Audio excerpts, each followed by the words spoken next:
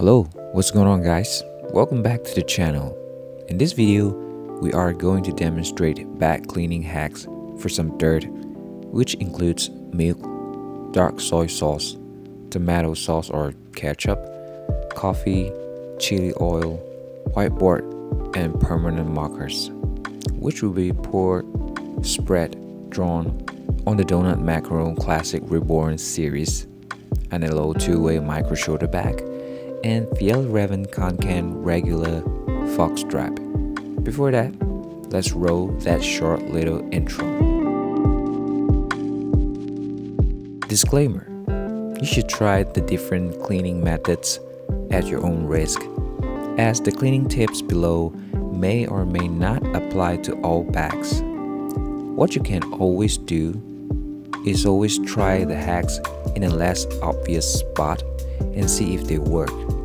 And one side note, this experiment was done and cleaned up on the spot. So if you have stains on the bag for a long time, you may not be able to clean it up as easily as the video shows. However, you can still try though. So before cleaning, you need to prepare a bowl. Pour the mild dish detergent and water in and mix it well.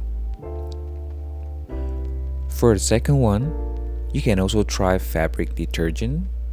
Make sure that it's mild because the last thing you want is to ruin your favorite bag's fabric. Then, add some water and mix it well. Prepare a toothbrush or soft brush, a sponge, tissue, and a cloth. Let's start with milk first. As you can tell, the bags can repel the milk and it will slide off the bag. You can wipe it off with a cloth or you can use diluted dish detergent and use a sponge to rub the surface. Wipe the water with a dry cloth and air dry it. Sometimes it is inevitable to drop food with tomato sauce onto your bag, but no worries, you can just take a wet cloth and wipe it off just like this. If you feel that there is some oil residue on it, you can take a sponge and dip it in the dish detergent solution and gently wipe it off. Use a towel to wipe off the excess water and air dry it. Or you can just simply take a piece of wet wipes and wipe the tomato sauce off the bag easily and you should be able to get this result. Next, the dark soy sauce. We all love it but hate it when it gets on our clothes or bags. If you happen to eat out and splat some soy sauce on your bag like this, please don't panic. Get some dry tissues to dab the soy sauce off the surface softly on a spot with no delay. After that, wipe the stain off with a piece of wet wipes the stain should come off easily and you will have your clean bag back again. Or you can take a sponge and dip it in the dish detergent solution and gently wipe it off. If you are a coffee lover, you will probably be able to relate to this coffee splash on your favorite backpack. Oops, it hurts by looking at it, man. Again, you can start by softly dabbing them off with dry tissues. But if you see some stains, you can scrub them with the soap and a water solution with the sponge.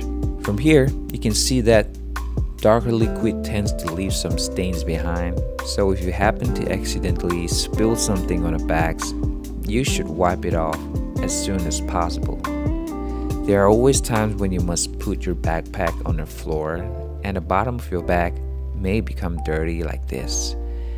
This is headache for every student or maybe parents, but let's see how I can clean up this mess.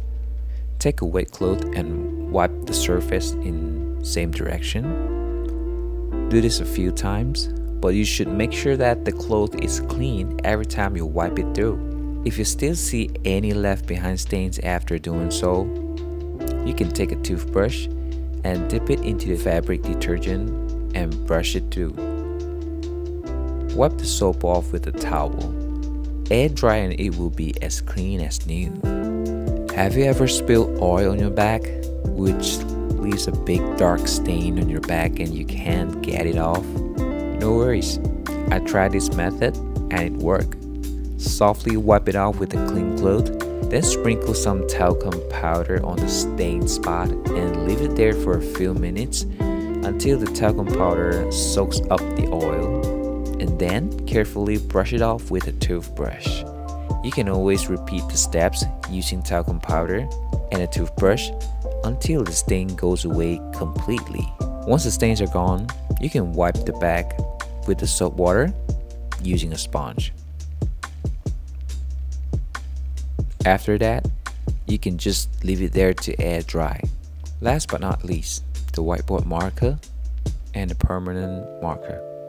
If you or others accidentally leave the marker ink in the bag, you may not notice these marks straight away, so I conducted the experiment with context taken into consideration.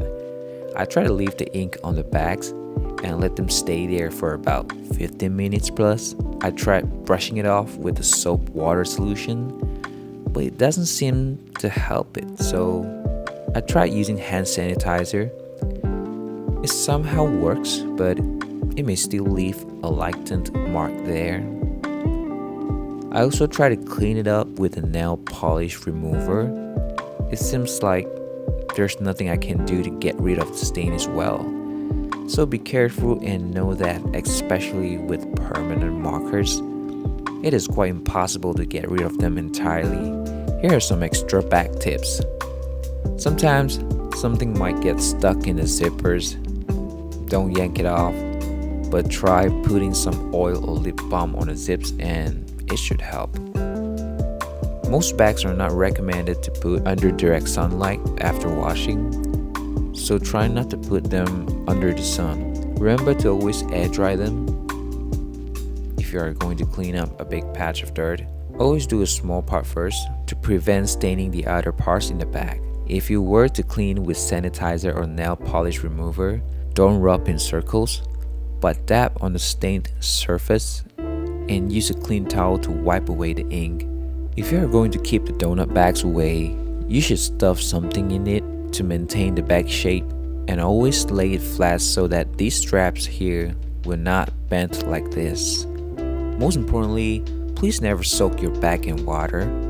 Don't step on it and don't yell at it. Hey, get out of here! That's common sense, I suppose. Alright, that's all for today. If you are a return subscriber, you can probably tell we are trying out a new video format here Leave a comment down below and tell us if you like this kind of format without me showing my beautiful face. And please, gently smash that thumbs up button, subscribe to the channel, and turn on the notification bell so that you'll be notified once we uploaded a new video. And yeah, go ahead and follow our Instagram too. All in all, don't forget to sanitize your bag after you're home or wipe it with antibacterial wipes. Stay safe stay healthy, and most importantly, stay at home. See you in the next video. Bye.